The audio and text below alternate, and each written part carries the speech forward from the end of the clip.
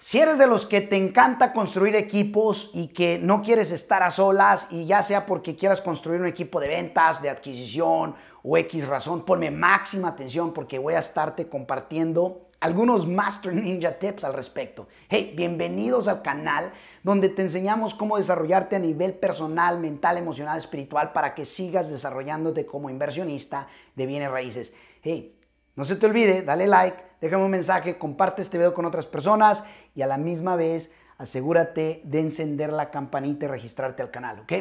¿Cómo mantener a tu equipo enrolado? Es muy importante que ellos noten, ¿ok? Algunos puntos que voy a compartirte es, número uno, que ellos noten que hay un interés genuino por sus metas. Tú tienes que saber las metas de tu equipo, ¿ok? ¿Cuáles son? Por qué las quieren lograr, hacia dónde se dirigen. Y, los, y, tú tienes que tener un interés genuino por sus metas. Luego, número dos, es ayudarles, mostrarles a ellos cómo pueden lograr esas metas a través de tu organización, a través de tu servicio, de tu producto, a través de la empresa que tengas, ¿ok? Siguiente tip es que una vez que tú sabes lo que son sus metas, y les puedes mostrar cómo lograrlas, entonces el siguiente paso es de que tú, cada alrededor de unos 30 días, eh, te sientes con ellos para hacer una evaluación y hacerle las preguntas directas, como por ejemplo, hey, ¿estás contento? ¿Estás feliz? ¿Estás contenta trabajando acá? Y, y, te van a decir la verdad. Ahora les puedes decir, dime las cosas como son. Y lo más interesante es que eh, eh, cuando te digan que sí lo estoy, ¿por qué lo estás? Necesitas indagar. ¿Por qué? ¿Qué es lo que te encanta de estar aquí versus lo que no te gusta? Y sabes que yo hice eso con uno de nuestros, una de nuestras eh, personas de nuestro equipo y, le, le y lo hago con todos, pero precisamente en esta persona en particular, le pregunto que si está contenta en trabajar aquí con nosotros. Me dice feliz, encantada. Le digo, ¿y por qué? Dice, porque siento una energía eh, eh, muy positiva. El ambiente es genial. Dice, y me permite crecer porque estoy aprendiendo consistentemente algo nuevo. Ahora, lo interesante es que sé exactamente sus metas, sé lo que quiere lograr y, y es importante enseñarles cómo obviamente lo pueden ellos eh, llevar a cabo a través de tu oportunidad. Y en este caso, tú quieres sentarte con ellos, evaluar cada mes, asegurarte de que estén obviamente contentas, contentos y también saber qué es lo que no les gusta. Yo te puedo decir una cosa, cuando tú te das cuenta lo que no les gusta, que es importante que sean abiertos contigo, entonces de repente saber por la razón por la cual no. Por ejemplo, yo he tenido en alguno de mis miembros decir es que no me gusta el, tomar llamadas cuando especialmente no sé ni siquiera qué decir.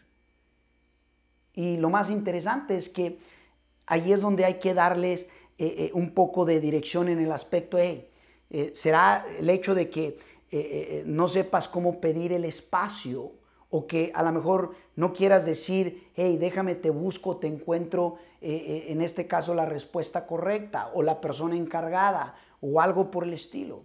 La realidad es esto, cuando a alguien no le gusta, en este caso, algo, tienes que llegar a la raíz de por qué. Y para llegar a la raíz tienes que indagar de varias, varios porqués hasta llegar a la razón, a lo mero más profundo. Porque cuando la persona eh, eh, le puedes tú ayudar como literalmente aquello que no le guste, ya sea cambiarlo por algo que sí o darle, en este caso, eh, exactamente la solución de cómo puede hacer que eso cambie, entonces, ¿qué crees? ¿Tú, ¿Tú no crees que el equipo se da cuenta si tú estás interesado en el desarrollo de ellos? ¿Tú no crees que se da cuenta a través de estas evaluaciones? Si tú los enrolas, ¿ok?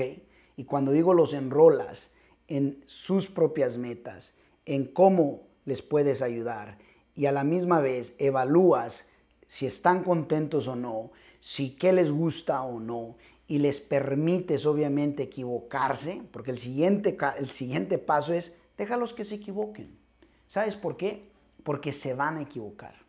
Se van a equivocar. Déjalos que se enfrenten al rechazo y a los errores. Y cuando eso suceda, lo único que puedes hacer es seguir evaluando y seguir, obviamente, compartiéndoles ideas. Así es que manténlos enrolados, porque cuando tú haces eso, entonces te lo puedo prometer que van a estar contentos de querer continuar, de querer ser libres dentro de la misma red y organización. Así es que cuatro tips que te compartí ahí que sé que pueden hacer la tremenda diferencia. Déjame saber aquí abajo si tienes equipos o si estás desarrollando tu negocio, en este caso a solas, pero felicidades por estar aquí conmigo. No se te olvide compartir este video y recuerda que si hay otra, aún hay más, solo que siempre depende de ti.